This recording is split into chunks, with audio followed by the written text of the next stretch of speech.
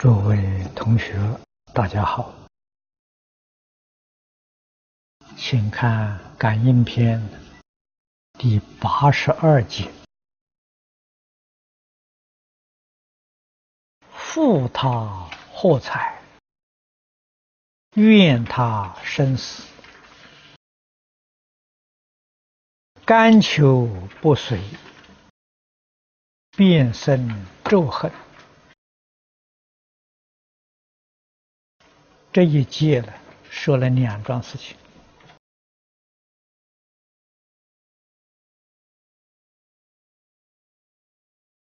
这个“负”啊，是欠的意思啊，像这个借钱不还，凡是借别人的器用啊。器皿用具，这个没有偿还的意愿，都是属于这一类的。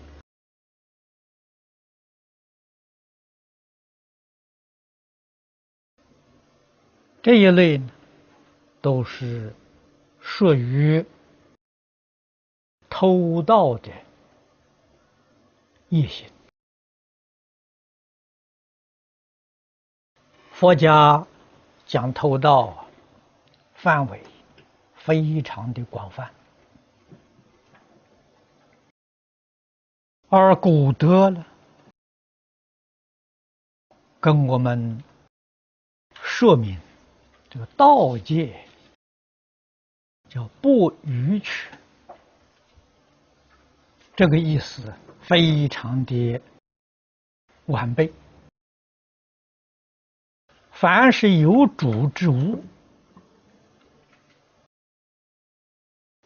无论你用什么手段得到，主人没有答应给你。你得到的都叫做偷盗，啊，都属于这条戒律范围之内的。那么我们向人借东西，借钱也好，借物品也好，这主人同意借给我们的，不是给予我们的啊，借给我们呢，那将来一定要奉还。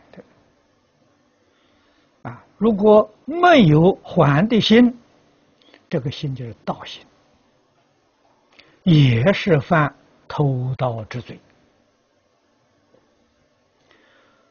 如果说是啊借人的财物不想还呢，还希望他早死，这个罪过就更大了。佛在经上说：“生这种心的人，已经是出生了。来生的果报啊必多恶道啊！所以世间人眼光很浅呐，只看到眼前的小利，不知道后患无穷。”畜生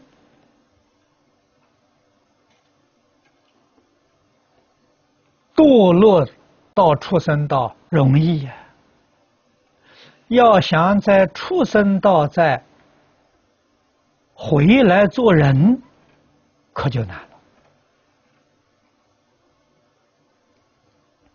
原因在哪里呢？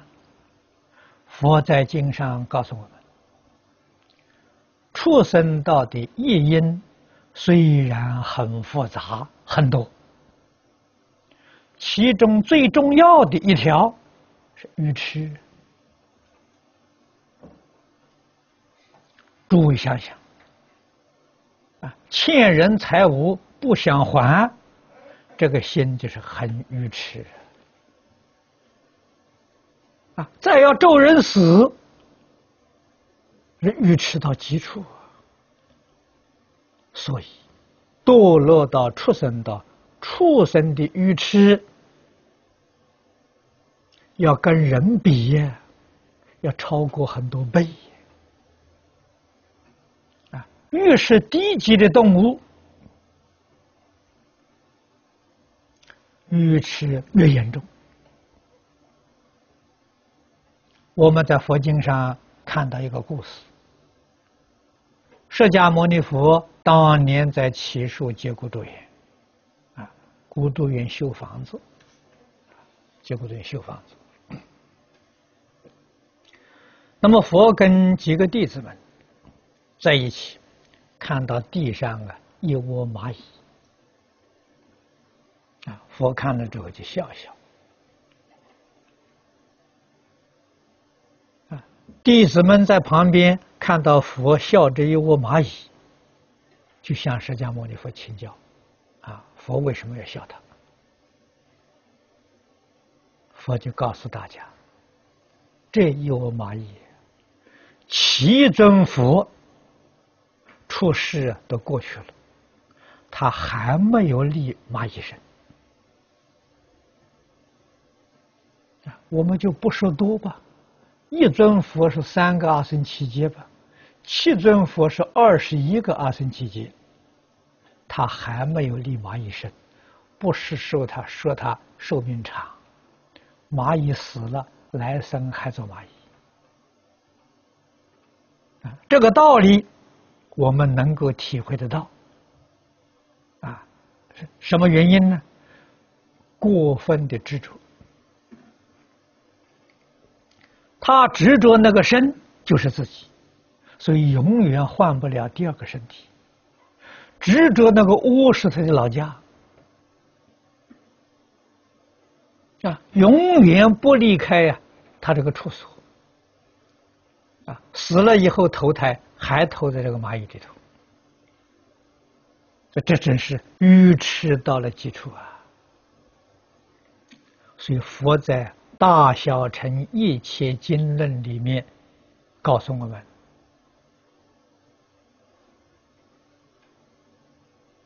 我们要能体会，要知道佛的苦口婆心，三恶道易如而难出，这是事实真相啊。很容易堕三恶道，啊，三恶道的业因贪嗔痴啊，所以佛教我们修戒定慧，啊，勤修戒定慧，熄灭贪嗔痴，啊，目的在哪里？不堕恶道，所以人一定。要守住人的本分啊，人的根本，人的根本是什么呢？在佛家是无戒，在儒家是无常啊，无常是仁义礼智信。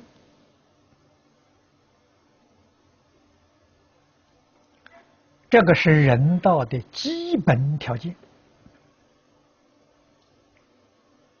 如果我们把基本条件呢失掉了，来生决定不能得人生。啊，诸位要晓得，我们这一生能得人生，是过去生中修的有这个条件。啊，这一生当中，啊，遇到了缘。啊父母跟我们有缘呐，啊，父母属于正上缘呐，真正到人道投生是过去生中的业因，啊，无界十善的业因呐，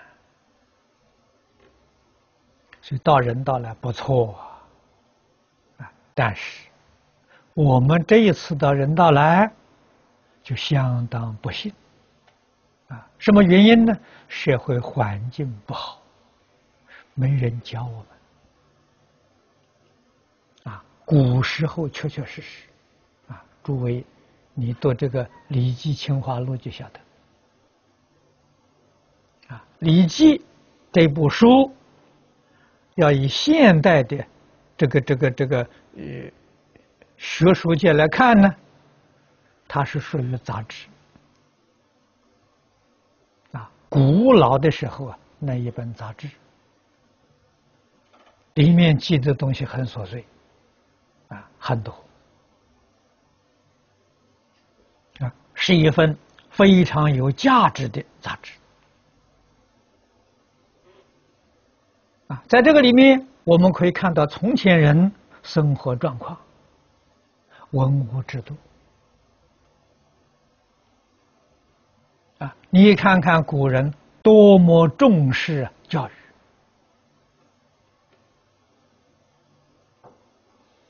尤其是家庭教育。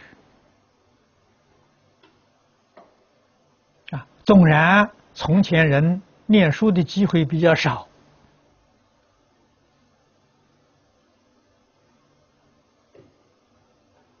有很多父母不认识字，但是他受到社会上一代的这个教育的熏陶，他懂得做人的道理，他懂得了给儿女做一个好榜样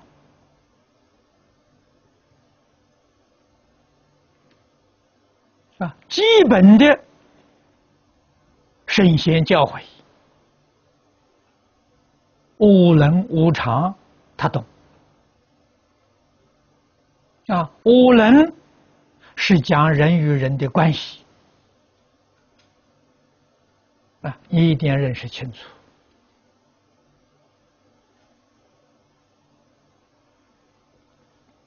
无常是基本做人的道理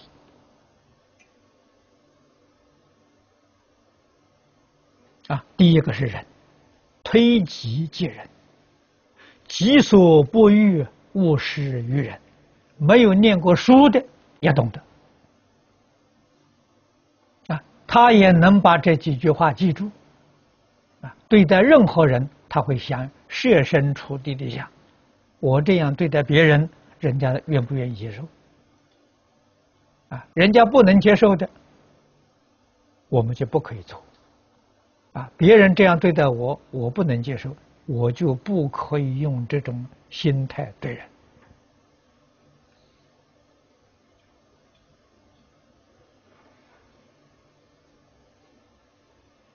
啊，一是为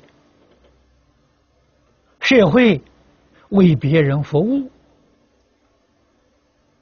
不求报偿的。我们今天讲尽义务啊。啊，我们这个道场有许多义工，啊，来为道场服务，为大家服务，啊，不求报酬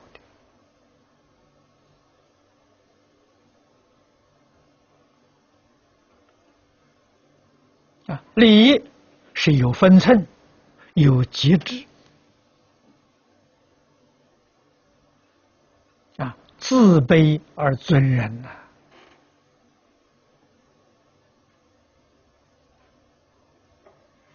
智就是今天讲的理智，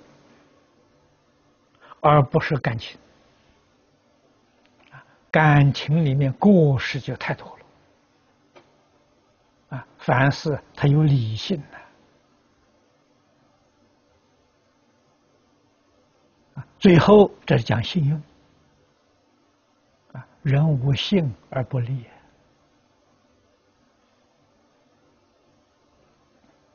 这是中国古圣先贤教人做人的道理啊！这五个字总要守住啊！所以在从前古老的那个时代，无论念过书没念过书，识字不识字，都懂得这个道理，而且都能够遵守啊！所以社会安定了。现在科学技术发达了，物质文明有了大幅度的进步，可是人与人的关系不知道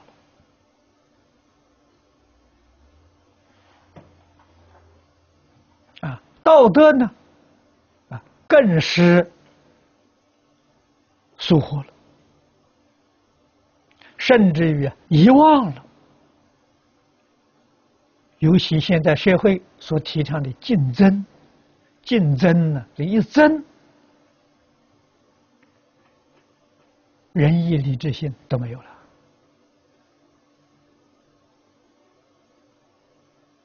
所以我们生在这个这个时代，这个时代是动乱的时代。啊，后人写历史，写这个时代是乱世啊。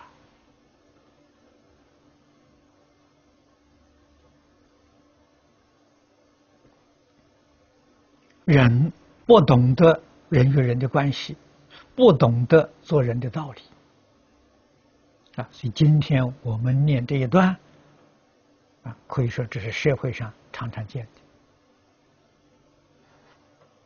许许多多人都是这么一个心态啊我们要晓得这样的心态后果。不堪设想啊！用这个偷盗的心，这个人哪里能发财呢？哪里能过幸福的生活呢？不可能的事情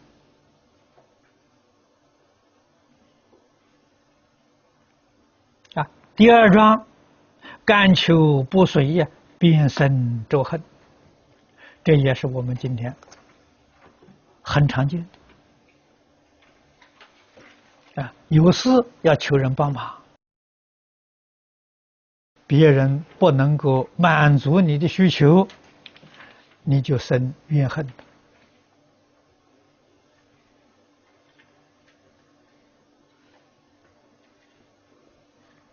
这个注解里头给我们提示的很好啊。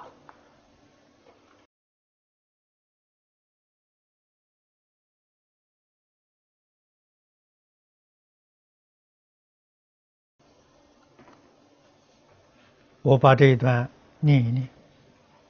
甘求，知一切大小之事，凡有啊有甘恳求托于人者，皆是。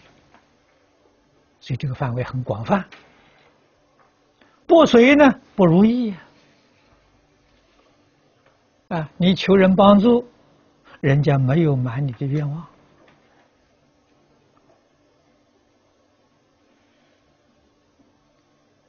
于是你就咒他，诅咒他，你就恨他，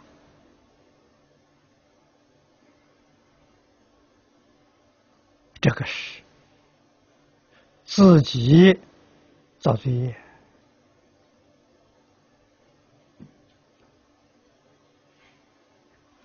啊！后面这一段，君子大礼安命，岂肯向人甘求？这是个明理的人，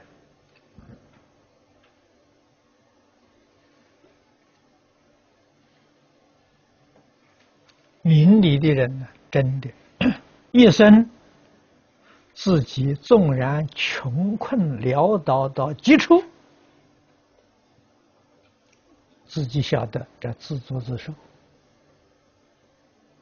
也不会去求人。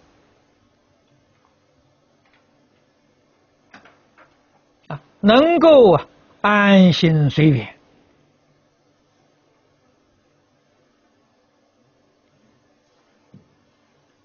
知命乐天呐！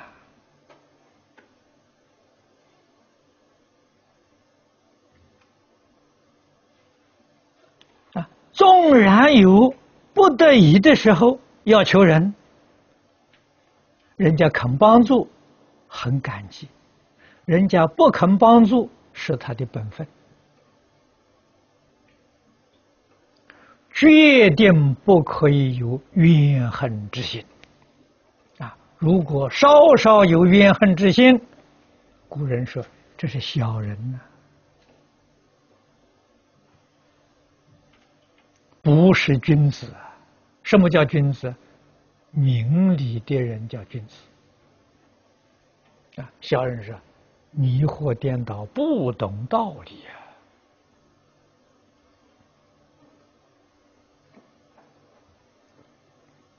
啊。怎么可以责怪于人呢？啊，学佛的人更不可以有这种念头。啊，如果有这样的念头，他不是一个学佛人，他对于佛法、对于佛陀的教诲，根本就没有能够理解。啊，这不要说做了。啊，佛所讲的这些教诲，他不懂啊。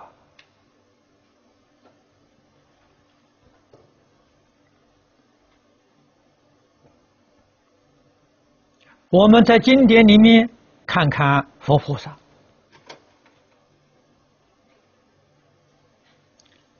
他们用什么样的心态来对我人？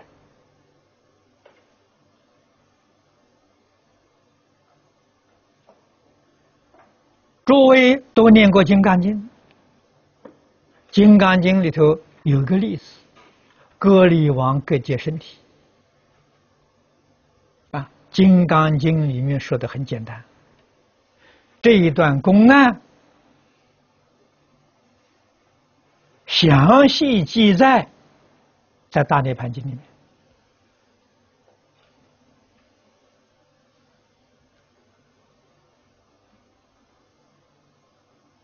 忍辱仙人是释迦牟尼佛前世。啊，没有成佛之前，在修学过程当中啊，修忍辱波罗蜜。啊，大家称他做忍辱仙人。啊。高丽王，高丽是梵语啊，翻成中国这个意思，就是我们常讲。无道之君呐，暴君呐，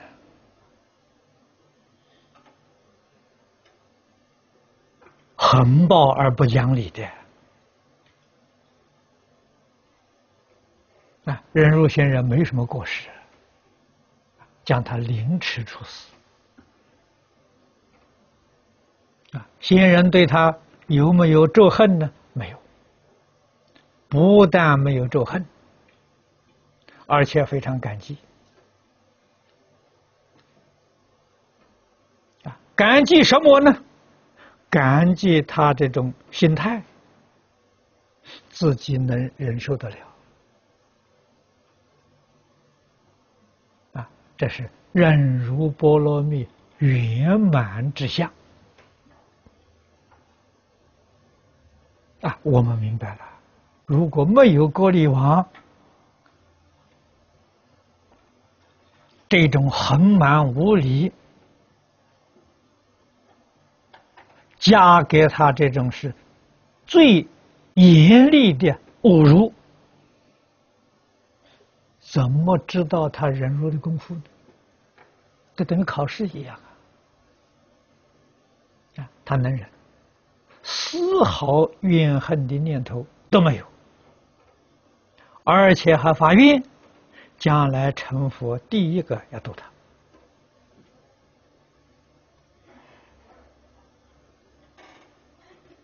啊！所以世尊成佛，第一个度乔成如尊者，乔成如就是当时的格力王啊！释迦牟尼佛就是忍辱仙人，他说的话兑现了，成佛第一个度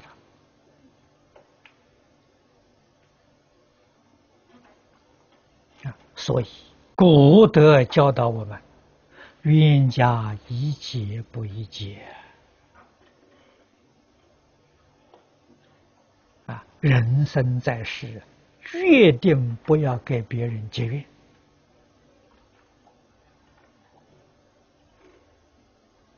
给别人结怨，错了。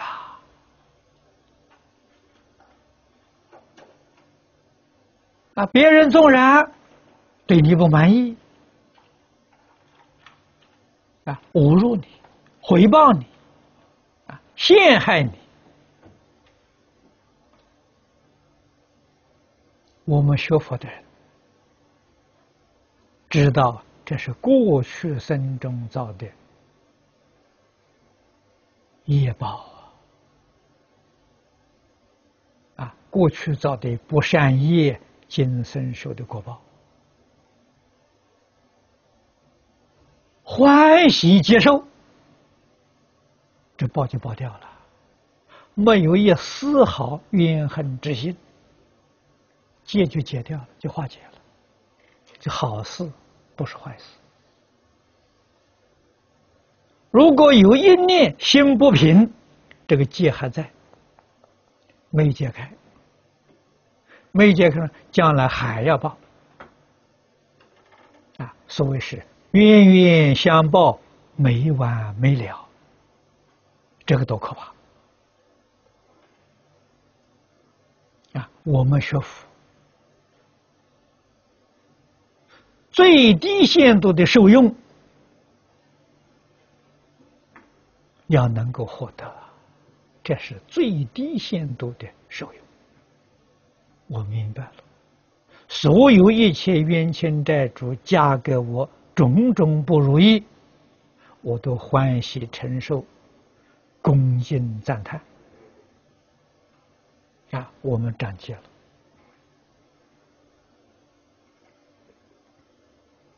啊，也成就自己忍辱行啊，